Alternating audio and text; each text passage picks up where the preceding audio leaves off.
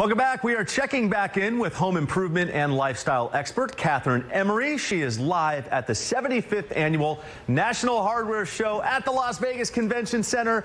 Now, Kathryn, you had so many goodies last half hour, and what do you have for us now? Because I'm excited to see this. Woo! So, Sam, I've been running around the National Hardware Show, so I had to sit down. This is from Flower House. It's called the Dream Catcher. Yes, I'm taking one home with me. Do you think it'll fit in my suitcase?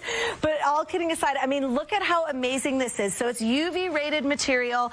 This is called the Love Seat. They've got ones with uh, that are on the ground for people that for mobility issues to get in and out of.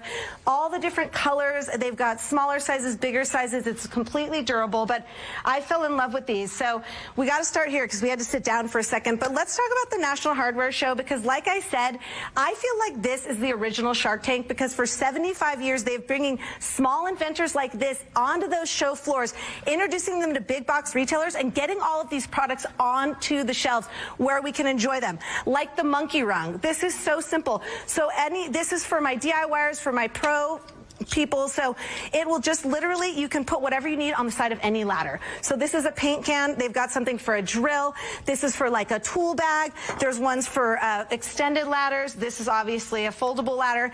But so you don't want to go up and down that ladder anymore.